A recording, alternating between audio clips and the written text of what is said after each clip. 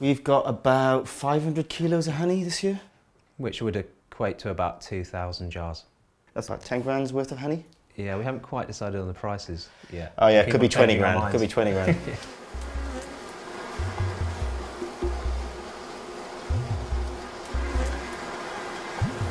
I'm Barnes. I'm Webb. He's Webb. We're urban beekeepers. We rent hives and we sell honey. We're pretty much the biggest London honey producers.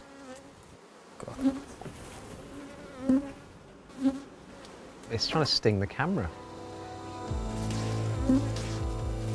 The hives that we have, we label the jars up by the postcode that they're in, so that's something that we're doing differently to other London honey producers. So it's ultra local. Some people believe that it's good for allergies like hay fever because you're getting you know, pollens um, which are in your neighbourhood. If it's just London honey, you know, it could be anywhere within the M25, but this, you know, is going to be just around the corner from where you live. We get a phone call, email saying we'd like some hives. So we go around and do a free inspection, check the space, make sure it's suitable for bees, make sure we can gain access and do our job. That's going to be heavy carrying those hives up there. Oh, God. You can, you can carry them. Thanks. If they're keen for two hives in every place,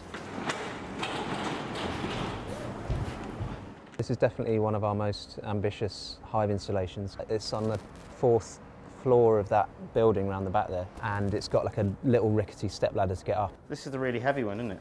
These hives in the back. One of them probably weighs about 40 kilos, and if that falls, then it's going to be Armageddon. They're noisy. They get quite angry when you're transporting them around because they're bouncing around quite a lot. So once we've got them up there, we'll let them settle a bit and then open them up and then leg it. I've got longer arms than you. I can barely fit in. Oh, shit. Which way now? That way. Whatever you do, don't fall over. Bit awkward, isn't it, on that bendy stairs? How are you boys feeling? Tired. Sweaty. It's really heavy. Right? They're not happy, are they?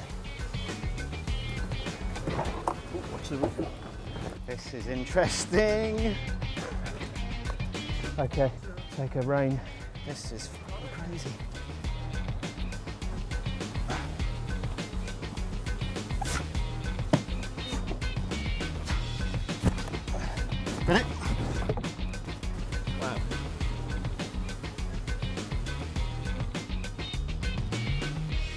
That was hard work. Yeah, that was um, that was sweaty. Uh, the highs weighed a ton. Wasn't sure whether we'd actually get them up on this on this roof, but we made it. Excuse me, bees. How are they looking? Pouring out. They're here. The bees are flying around. They're happy. Mission completed. Done. You have bees. I love honey. I can live on honey 24 hours a day. So I'm looking forward to having my own honey for a change, one. Number two, we can start selling it to our customers. So whilst we will put it on the menu, but our customers can have the pleasure of buying something that's a City of London product. London is the greenest city in the world. Down below, we've got courgettes growing, carrot, uh, cucumbers growing, beetroot growing. Plus, we have put two green roofs down below, so the bees can actually feed off our own uh, pastures, so to speak, you know. I wanted them in my garden at the bottom. My wife is too scared. She thought, you know, the bees are going to be buzzing and biting people. So we said, okay, we'll bring them up. And they thought the up the roof was a better uh, location anyway because it gets a lot of sunlight. Hopefully, it's a marriage made in heaven for the bees. In September, we take the honey, jar it all up.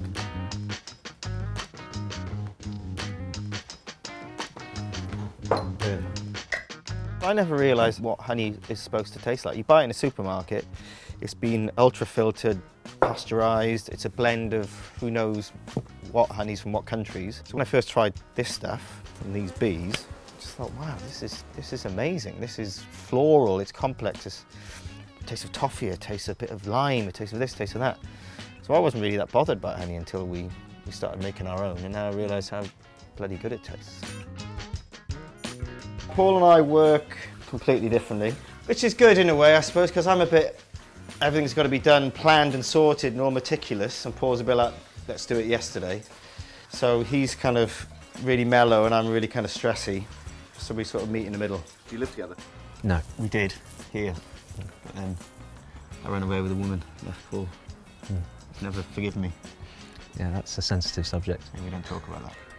How's your girlfriend feel about uh, how busy you are with the business? I don't have a girlfriend. I'm single. That's a joke. She's actually quite, um, what's the word, forgiving. Which is a requirement. Which I'm very lucky, yeah. She's not like a normal girl. She's not mental. Paul's in the luxurious position that he doesn't have to answer to anyone. Free spirit. Free spirit. Lonely. But yeah, she's pretty cool. She's got muscles. He's got a bit of a thing about um, muscular women.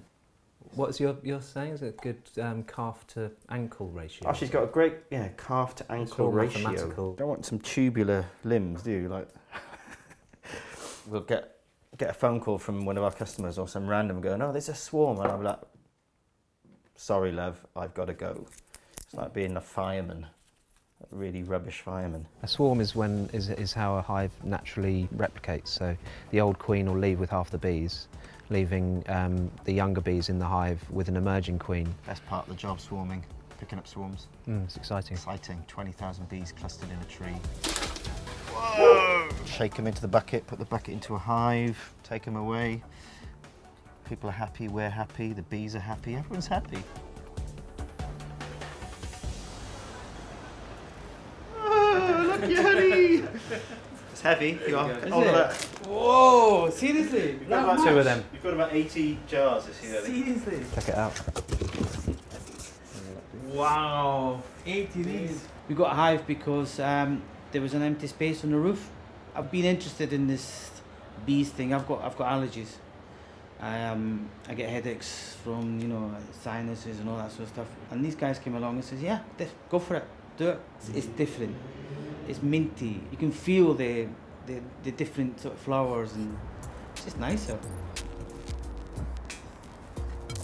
We're kind of inspecting every hive pretty much at least once a week in the summer. Right now we're just going through the whole brood box, that's this box, to make sure there's a laying queen because soon we're going to be shutting them up for winter. So we can just take that box off and then you've just got the brood and the roof and that's it really because that means that it's you know it's a lot more insulated over winter.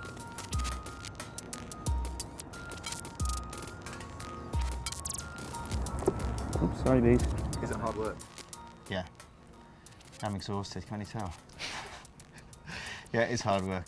It's heavy lifting and it's in the midday sun and you're sweating and it's quite labour intensive. Ah, they're a bit heavier. Beekeeping hungover is not recommended. It's like a vicious cycle of, oh God, the bees are getting angry, oh God, I'm getting more and more clumsy, oh God, they're getting more angry. So yeah, beekeeping with a hangover is just not the done thing. But you're all right today. I'm all right today, yeah, for once. I'm beekeeping today, so I didn't get pissed last night.